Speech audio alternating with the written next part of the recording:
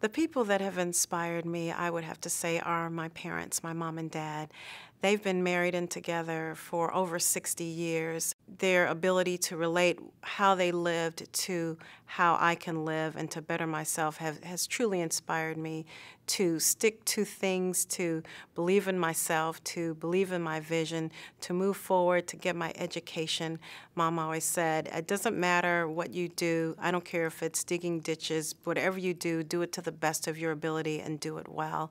So I'd have to say their stamina, their determination, their sense of humor, their confidence in me, their belief in it, in, in an education, and their strong values that they've instilled in me have helped shaped me to who I am today. In addition to me, it's helped me shape my children, and it's helped my children shape their children.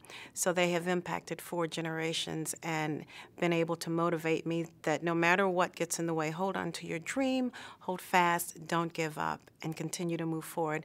And above anything else, believe.